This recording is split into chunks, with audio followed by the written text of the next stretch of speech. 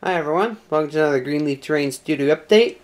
I am just painting up this Archie Bruce Noskyra Hyperion. He's almost done. Just going to do all the lighting effects and whatnot.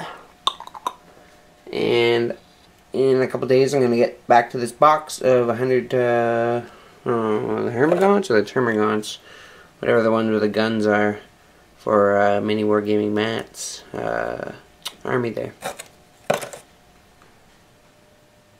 I'm getting back to these Blood Angels tonight, but I am in the final stages of finishing off this Skaven terrain. A bunch of pieces are sitting in the back room finished, and I'm just uh, putting on some uh, Skaven runes with some red paint, and I have some miniatures that I'm put, putting on with some little bits, dwarf bits.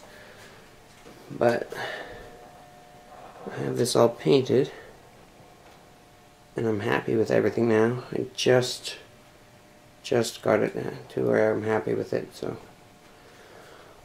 close the doors there.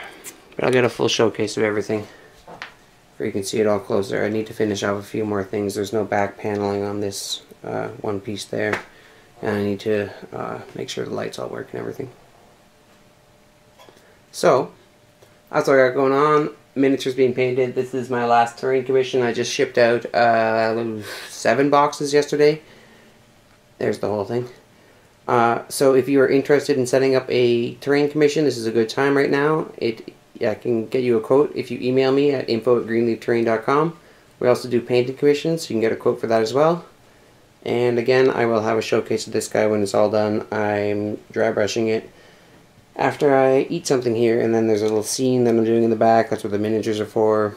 Yeah. So again, info at greenleafterrain.com if you want to get a quote.